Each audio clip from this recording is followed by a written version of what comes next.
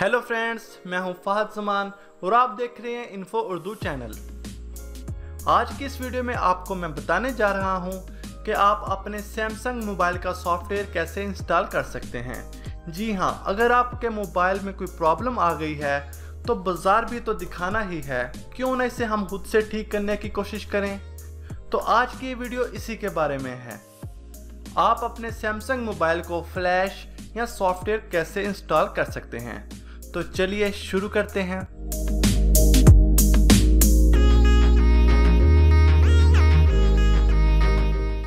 Hello welcome back तो शुरू करने से पहले मेरी एक रिक्वेस्ट है कि अगर आपने अभी तक मेरे चैनल को सब्सक्राइब नहीं किया तो इसे अभी सब्सक्राइब कर लें, जो कि बिल्कुल फ्री है, क्योंकि इस पर मैं कंप्यूटर इंटरनेट मोबाइल टेक्नोलॉजी से related tips and tricks share करता रहता हूँ।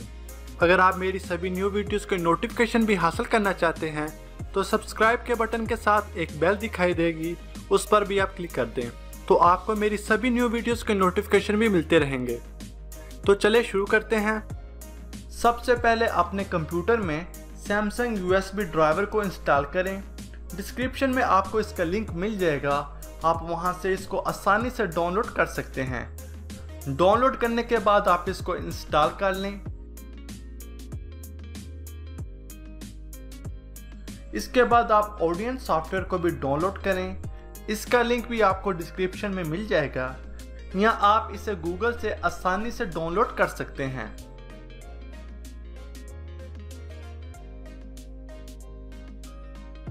याद रखें, अपने मोबाइल से पिक्स या कॉन्टैक्ट्स वगैरह सेव कर लें, क्योंकि इसके बाद सब कुछ डिलीट हो जाएगा। इसके बाद आपको सॉफ्टवेयर की फ़ाइल को डाउनलोड करना है, जिसको फर्मवेयर भी कहते हैं। इसके लिए आप Sam mobile dot com website को ओपन करें और ज्वाइन पर क्लिक करें। और ज्वाइन पर क्लिक करके इसमें अपना अकाउंट बना लें। ये बहुत ही आसान है। बस आपको अपना नेम ईमेल आईडी और पासवर्ड वगैरह देना है। उसके बाद आपको ईमेल आईडी में वेरिफिकेशन ईमेल आएगी। उससे आपने इसको वेरीफाई कर लेना है। ये बिल्कुल वैसा ही है जैसे आप किसी फेसबुक वगैरह की आईडी बनाते हैं। मैंने पहले से अकाउंट बनाया हुआ है मैं यहाँ से लॉगिन कर लेता हूँ। इसके बाद फर्मवेयर में जाएँ और यहाँ अपने मोबाइल का मॉडल लिखें। आप अपने मोबाइल का मॉडल देखने के लिए सेटिंग्स में जाएँ, अबाउट डिवाइस में जाएँ और यहाँ मॉडल नंबर आप देख सकते हैं। या आप अपने मोबाइल की बैटरी निकाल कर वहाँ पर भी मोबाइल का मॉडल देख सकते हैं। इसके बाद यहाँ पर मॉडल लिखें और सर्च करें।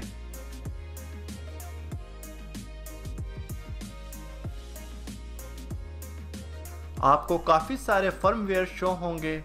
आप इनमें से कोई भी डाउनलोड कर सकते हैं। लेकिन मैं आपको यही कहूँगा कि आप सबसे लेटेस्ट वाले को डाउनलोड करें। और ज़रूरी नहीं कि आपको अपनी कंट्री का ही डाउनलोड करना है। आप किसी भी कंट्री का लेटेस्ट डाउनलोड कर सकते हैं। तो मैं यहाँ सबसे लेटेस्ट वाले पर क्लिक करता हूँ। इसके बाद रेगुलर डाउनलोड पर क्लिक करें।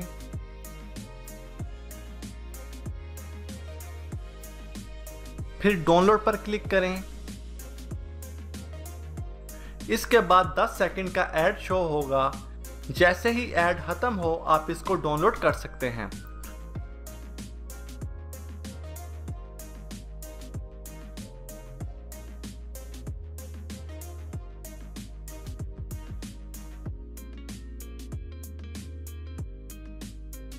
डाउनलोड करने के बाद आप इसको एक्सट्रैक्ट या अनजिप कर लें।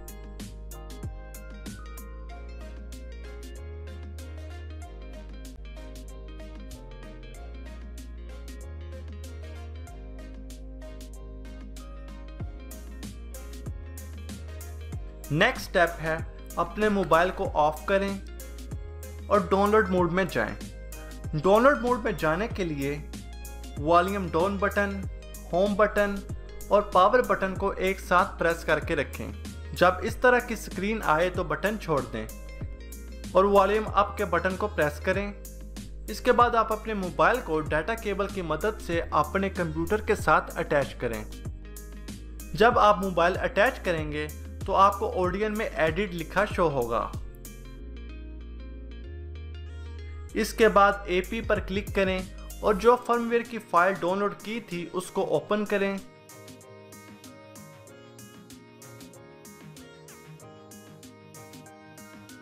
और इसके बाद स्टार्ट पर क्लिक करें।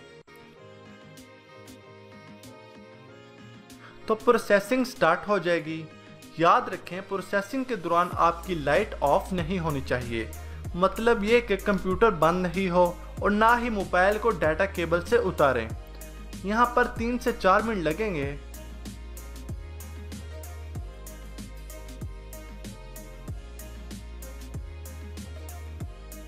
तो जैसे ही ये प्रोसेस कंप्लीट होगा, आपको मैसेज शो होगा पास इसके बाद आप अपने मोबाइल को डाटा केबल से उतार लें। यहाँ पर कुछ टिप्स बताने जा रहा हूँ।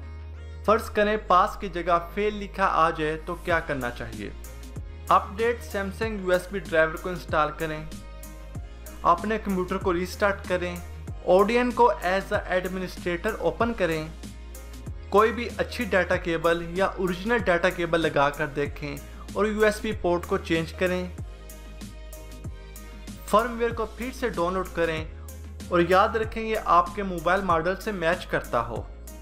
तो इसकी मदद से आप किसी भी सैमसंग मोबाइल का सॉफ्टवेयर आसानी से इंस्टॉल कर सकते हैं। तो मैं उम्मीद करता हूँ आपको ये वीडियो पसंद आई होगी। ऐसी और वीडियोस देखने के लिए इस चैनल को ज़रूर सब्सक्राइब करें और बेल आइकन को दबाना मत भूलें, ताकि आपको हमारी न्यू वीडियोस का नोटिफिकेशन मिलते रहें। वीडियोस अच्छी लगी हो तो इसको लाइक करें। अगर कोई क्वेश्चन हो तो कमेंट्स में पूछें। मिलते हैं एक और न्यू वीडियो में। तब तक के लिए खुदा हाफिज़।